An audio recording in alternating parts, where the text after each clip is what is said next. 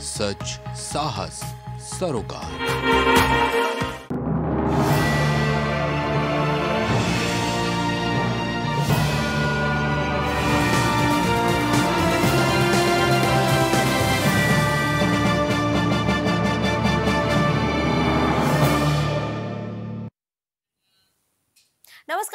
मुस्कान अजमानी और आप देख रहे हैं देश का लोकप्रिय चैनल प्राइम टीवी। रुक करते हैं यूपी की बड़ी खबरों की ओर, जहाँ आगरा में निकाय चुनाव के प्रथम चरण के जनसंपर्क के आखिरी दिन वार्ड 55 बीजेपी प्रत्याशी के समर्थकों ने अपना पूरा दमखम दिखाया। क्षेत्रीय लोगों ने भी पुष्प वर्षा करके बाइक रैली का स्वागत किया। वही पार्षद प्रत्याशी विजय वर्मा निषाद ने क्षेत्र में तूफानी जनसंपर्क किया और क्षेत्रीय लोगों का विजय वर्मा निषाद को भी भरपूर समर्थन मिल रहा है। नंगला बिहारी शाहदरा छलीसर बंगारा इस जगह पे जहाँ हमारे वोट हैं वहाँ हम गए और जनता का हर वर्ग के हर समाज का हमें समर्थन मिला है। पूरा जनता हमारे साथ है और आगे भी मिलता रहेगा और हम अच्छे वोटों से जीत रहे हैं। हमारी टक्कर में कोई प्रत्याशी नहीं है। मुद्दों को लेकर आप जो मैदान में मुद्दे हैं हमारे जो योगी जी ने जो योजना चलाई हैं उन्हीं मुद्दों पर हम विकास का चुनाव लड़ रहे हैं। जैसे आयुष्मान योजना है बीमा है आवास मिल रहे हैं। काफ़ी योजना है जो मोदी जी की राशन है। वार्ड पचपन कोई गुटबाजी नहीं है। पूरी जनता का अपार समर्थन हमारे प्रत्याशी को मिल रहा है। हमारी प्रत्याशी भारी बहुमत से आगे विजयी होंगे। आज जनता ये देख चुकी है कि पूर्व में जो भी अ, कई पार्षद रहे हैं वो भारतीय जनता पार्टी के नहीं रहे। जनता ने मन बना लिया है कि भारतीय जनता पार्टी के प्रत्याशी को जिताना है क्योंकि जो क्षेत्र में विकास नहीं हुए हैं वो सबको जानते हैं कि जो भारतीय जनता पार्टी का प्रत्याशी इस पार्षद जीतेगा, तभी विकास की विचारधारा और विकास की धारा बहेगी।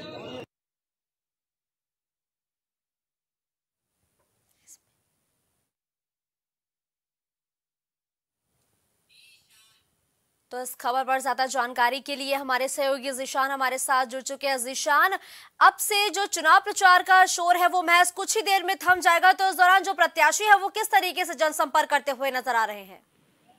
देखिए, बिल्कुल मैं आपको बता दूँ, उत्तर प्रदेश में निकाय चुनाव का प्रथम चरण आज छह बजे से चुनाव प्रचार बिल्कुल समाप्त हो जाएगा और उसी को लेकर आज आगरा में नगर निकाय चुनाव को लेकर सभी प्रत्याशी जनता के बीच में जाकर जन जनता के बीच में जाकर दमखम दिखा रहे हैं। वहीं आपको बता दें कि आज वार्ड नंबर पचपन के भाजपा के प्रत्याशी विजय वर्मा ने भी जमकर दमखम दिखाया और तमाम जो समर्थन थे, उनके साथ एक बाइक रैली का भी आयोजन किया गया, जिसमें बड़ी संख्या में बाइक रैली में लोग शुमार थे। उनका पुष्प वर्षा बरसाकर उनका स्वागत भी किया गया। वहीं जो विजय निषाद हैं, उन्होंने साफ़ तौर से कहा कि जीतने के बाद जो योगी और मोदी की जन कल्याण योजना है, उनको जन जन पहुँचा जन जन तक पहुँचाने का काम भी करेंगे, जी।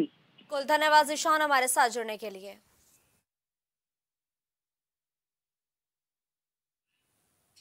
तो वहीं देवरिया में निकाय चुनाव के प्रथम चरण प्रचार के अंतिम दिन भोजपुरी अभिनेता और सांसद दिनेश लाल यादव निरहुआ ने गौरी बाज़ार और रुद्रपुर नगर पंचायत में रोड शो किया।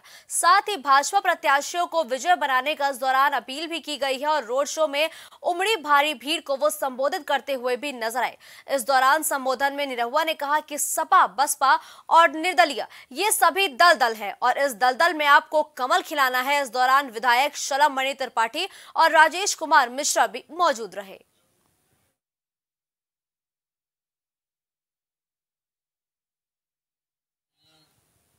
तो वहीं अमरोहा में लोकसभा क्षेत्र के निवर्तमान सांसद चौधरी कंवर सिंह तंवर ने सभी सम्मानित मतदाताओं से भाजपा प्रत्याशियों के पक्ष में मतदान करने की अपील की है। चौधरी कंवर सिंह तंवर ने नगर निकाय चुनाव के पहले चरण के 4 अप्रैल को होने वाले मतदान के लिए अपील की है। उन्होंने कहा है कि यूपी की ओर से केंद्र की डबल इंजन की सरकार में ट्रिपल इंजन की सरकार बनाने के लिए तैयार है। भाजपा प्रत्याशियों को अपना कीमती वोट दे, जिससे क्षेत्र का विकास हो सके। जनता से हाथ जोड़ कर विनती करना चाहता हूँ। जैसे हमारी केंद्र में सरकार है, उत्तर प्रदेश में हमारी सरकार है, और जब हमारी निगमों में भी चुनाव होंगे, हम जीतेंगे, हमारी सरकार नीचे ही बनेगी तो विकास के काम बहुत अच्छे होंगे।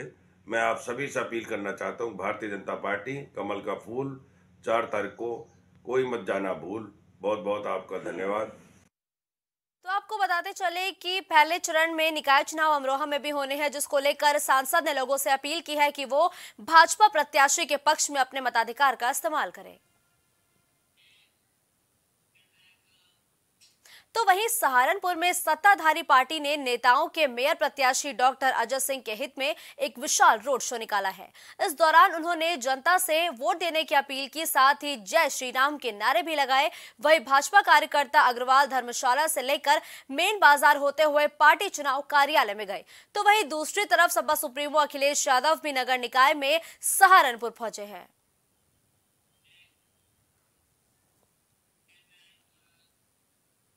श्रावस्ती में जनसभा को संबोधित करने के लिए केशव प्रसाद मौर्य भिनगा पहुँचे। वहीं भाजपाइयों ने उनका बेहद ही गर्मजोशी के साथ स्वागत किया। साथ ही संबोधन में उन्होंने बुद्ध की तपोस्थली श्रावस्ती को नमन किया। तो वहीं डिप्टी सीएम ने भिनगा के जूनियर हाई स्कूल के मैदान में एक विशाल जनसभा को संबोधित किया। संबोधन के दौरान विपक्षियों पर भी जमकर निशाना साधते हुए उन्होंने कहा कि पिछले नौ सालों में भारत की तकदीर और तस्वीर दोनों ही बदली है। नौ साल पहले देश में अविश्वास और भ्रष्टाचार का माहौल था। फ़ोन के सामने वाली बटन के सामने अपना ठप्पा लगा दीजिए। दिल्ली से के खजाने से और चाहे लखनऊ के खजाने से नगर पालिका को सजाने के लिए पैसे की कमी नहीं पड़ने दी जाएगी। भारतीय जनता पार्टी सबका साथ, सबका विकास इस संकल्प के साथ काम करती है। हमारी सरकार किसी के साथ भेदभाव नहीं करती। भ्रष्टाचारियों के खिलाफ, अपराधियों के खिलाफ सख्त से सख्त कानूनी कार्रवाई औरैया में बसपा जिला यूनिट लगातार पार्टी विरोधी गतिविधियों में कार्य कर रहे नेताओं को निकाल रही है।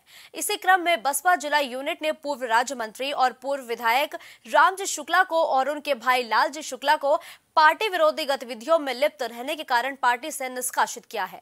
आपको बता दें कि बसपा के कद्दावर नेता रामजी शुक्ला के भाई लालजी शुक्ला भी पिछले विधानसभा चुनाव में सिकंदरा विधानसभा सीट से बसपा के प्रत्याशी थे और इस बार भी लालजी शुक्ला ने नगर पालिका परिषद में बसपा के घोषित प्रत्याशी मुन्ना पाल के खिलाफ निर्दलीय पर्चा भरा है और वो लगातार औरैया नगर पालिका परिषद में वोट मांग रहे हैं, जिस कारण बसपा जिला अध्यक्ष कमल गौतम ने प्रेस नोट जारी कर पूर्व राज्य मंत्री और विधायक रामजी शुक्ला और लालजी शुक्ला को निष्कासित करने की विज्ञप्ति जारी की है।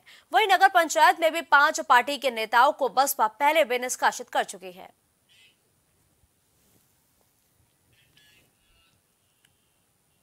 अब खबर बाराबंकी से है, जहाँ पर विधानसभा के आदर्श नगर पंचायत रामनगर में निर्दलीय प्रत्याशी रामशरण पाठक चुनावी सभा कर रहे हैं। उन्होंने सभा को संबोधित करते हुए अपने कार्यकाल की उपलब्धियाँ गिनाई, साथ ही जनता से अपने पक्ष में वोट डालने की भी बात कही है। अपने कार्यकाल की उपलब्धियाँ गिनाते हुए पाठक ने विपक्षियों पर निशाना साधते हुए कहा कि हमारे कार्यकाल में आवास योजना, शौचालय योजना या किसी भी योजना में किसी भी कर्मचारी अधिकारी ने एक भी पैसे की घूसखोरी तक नहीं की है।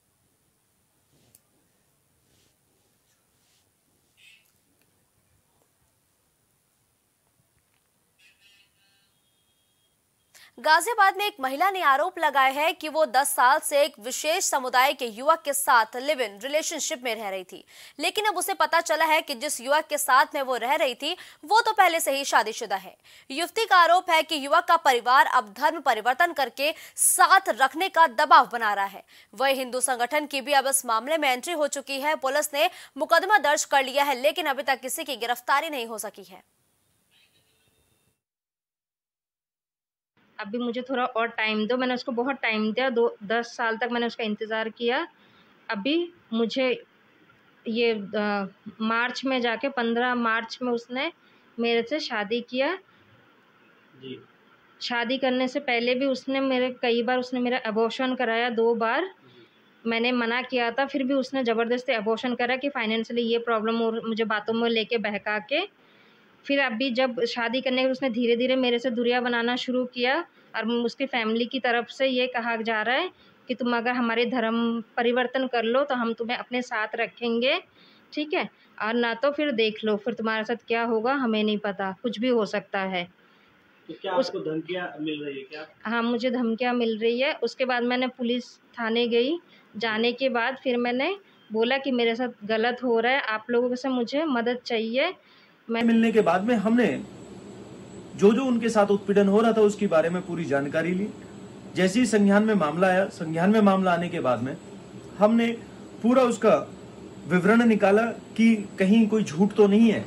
जैसे ही हमें पूरा विवरण निकलने के बाद में सूचना मिली कि वह महिला पीड़ित की जा रही है, उसी के तौर उसी के द्वारा, उसके माध्यम से जो हमें बताया गया, उसके हिसाब से हमने जिला गाजियाबाद जिला प्रशासन को सूचना दी। सूचना देने के बाद में उसकी एफआईआर दर्ज करा दी गई है। लेकिन अभी तक एफआईआर दर्ज होने के बाद में कोई भी उचित कार्रवाई होती नज़र नहीं आ रही है। तो वहीं गोंडा में टप्पेबाजों के हौसले लगातार बुलंद होते जा रहे हैं, जो दिन दहाड़े दुकानों में चोरी की घटनाओं को भी अब अंजाम देने लगे हैं। वहीं चोरी की ये घटना सीसीटीवी कैमरे में कैद हो गई है। ये घटना कोतवाली नगर क्षेत्र के गुरु नानक चौकी के पास की है, जिसकी तस्वीरें हम आपको दिखा रहे हैं। तो गोंडा में चोरों के हौसले इस कदर बुलंद है कि अब वो दिन दहाड़े चोरी की वारदात को अंजाम देते और चोरों की एक करतूत सीसीटीवी कैमरे में भी अब कैद हो गई है।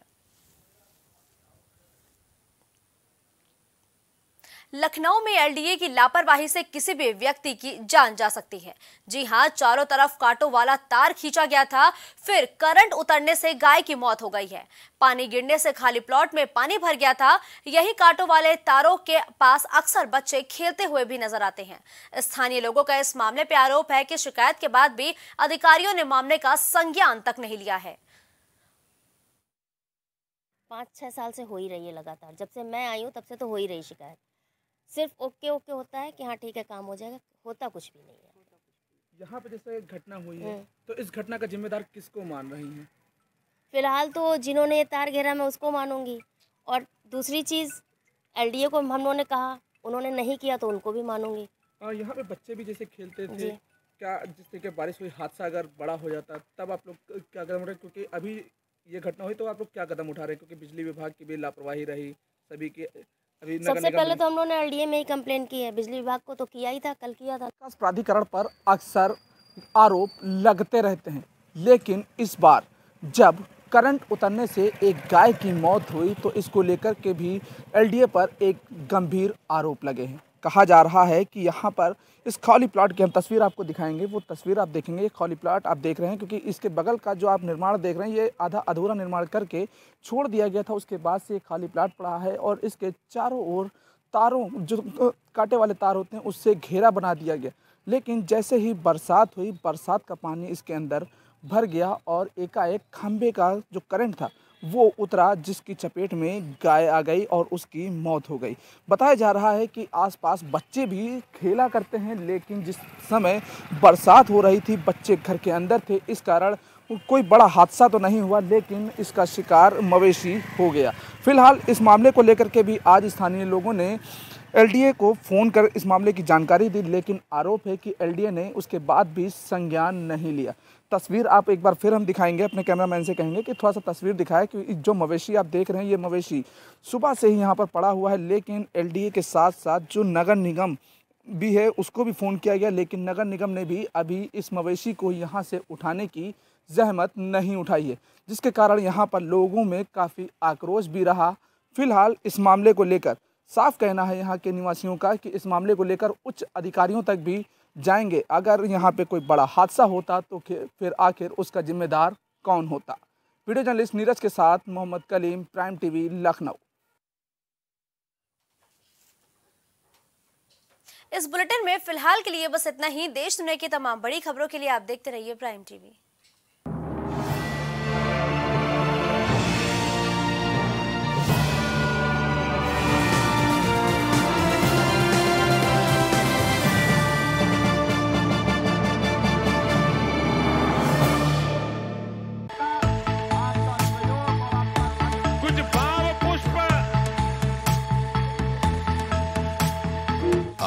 देख रहे हैं प्राइम टीवी सच साहस सरोकार